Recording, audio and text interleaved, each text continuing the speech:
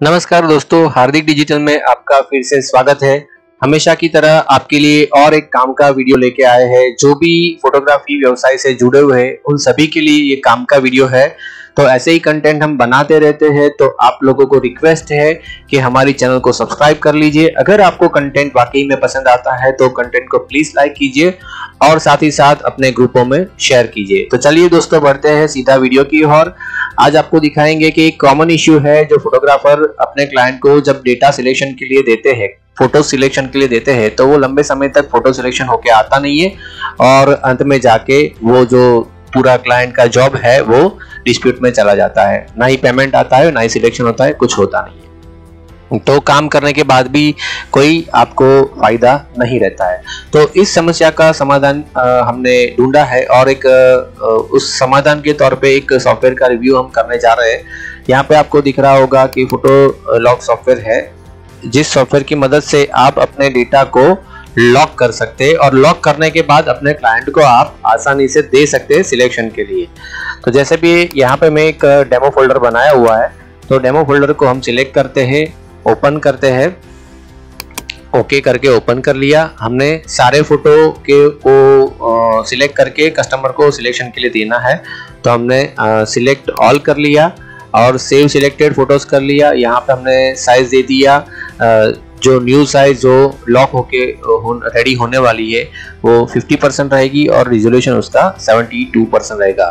इससे कोई फ़र्क नहीं पड़ता है कस्टमर को आप दोगे तो ना ही वो स्क्रीनशॉट ले पाएगा, ना ही वो कॉपी कर पाएगा, ना ही वो डेटा अपने कोई भी ड्राइव में लैपटॉप या डेस्कटॉप में सेव कर पाएगा।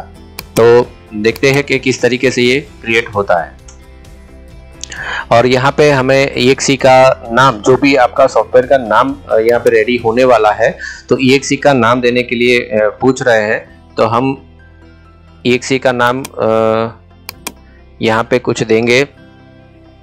जैसे कि आप अपने हिसाब से हम दे सकते हैं, यहाँ पे हम दे देते हैं demo.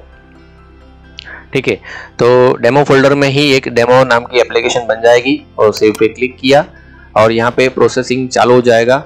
With in a few minute ये प्रोसेस कंप्लीट हो गए। आपका जितना भी डेटा है, आपका सपोज़ मान लीजिए कि 200 क्लिक है 300 है 500 है, या वट नंबर ऑफ़ क्लिक है तो वो क्लिक को आप कन्वर्ट करके और एक सॉफ्टवेयर में कन्वर्ट करके ई फ़ाइल बना के वो रेडी कर देते रेडी कर देगा।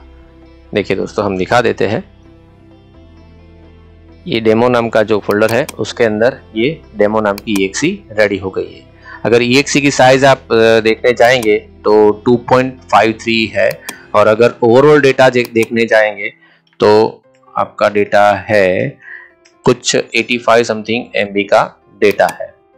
85 एम का जो डेटा था, उसको 2 एम में लॉक करके कन्वर्ट कर दिया। अब लॉक होने के बाद ये कैसे काम करता है? तो आइए चलिए देखते हैं वो किस तरीके से काम करता है। तो ये डेमो नाम का जो ई बना है, उसको हम ओपन कर देते हैं। देखिए दोस्तों, यहाँ पे मुझे फ़ोटो दिख रहा है और नीचे की जो बॉटम लाइन है, वहाँ पे हमें सिलेक्शन के लिए एक ऑप्शन दिया है जूम के लिए ऑप्शन दिया है स्लाइड शो के लिए भी ऑप्शन दिया है और नेक्स्ट करने के लिए ऑप्शन दिया है। अगर ये फ़ोटो मुझे सिलेक्ट करना है तो जस्ट इसको मैं सिलेक्ट करूँगा। यहाँ पे राइट हैंड साइड पे हमें दिखाई देगा कि कौन सा फ़ोटो सिलेक्ट हुआ है। कस्टमर को यही प्रीव्यू दिखाई देगा कि कौन सा फ़ोटो उसने सिलेक्ट किया है। नेक्स्ट करते हैं। अगर ये फ़ोटो सिलेक्ट करना है तो ठीक है। वापस नेक्स्ट करते हैं। अगर ये फ़ोटो सिलेक्ट करना है तो हम इसको सिलेक्ट कर लेते हैं।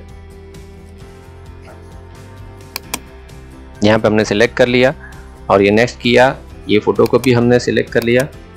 ठीक है, तीन फ़ोटो हमने सिलेक्ट किए और हम अब सेव सिलेक्टेड फ़ाइल के ऊपर क्लिक करते हैं। तो टेक्स्ट फ़ाइल जनरेटेड ऐसा करके आ गया है। तो हम देखते हैं कि किस तरीके से वो टेक्स्ट फ़ाइल आया है। देखिए दोस्तों, ये ही फोल्डर में ये सिलेक्टेड इमेज का टेक्स्ट फ़ाइल आ गया है। सिंपली ये टेक्स्ट फ़ाइल आपको कस्टमर से ही मंगवा लेना है, ताकि आगे जाके कोई डिस्प्यूट नहीं रहेगा कि कौन सा फ़ोटो सिलेक्ट हुआ था, कौन सा नहीं हुआ था। क्योंकि सॉफ्टवेयर के ज़रिए हुआ है तो इसमें गलती की कोई गुंजाइश नहीं है। जो कस्टमर आपको भेजेगा, वही उसका फाइनल सिलेक्शन होगा। तो इस तरीके से सिलेक्शन भी हो जाता है। आपके पास सिलेक्शन का पूरा डेटा ये नोटपैड में आ जाता है।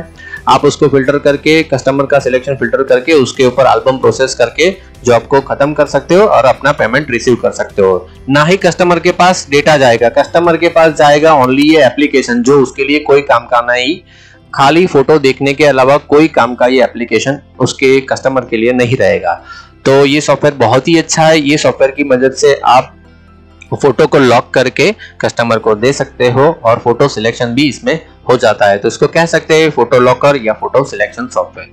Thank you so much इस तरीके ही कंटेंट हम लाते रहते हैं। तो वापस से हम रिक्वेस्ट करते हैं। हमारे चैनल को सब्सक्राइब कर लीजिए।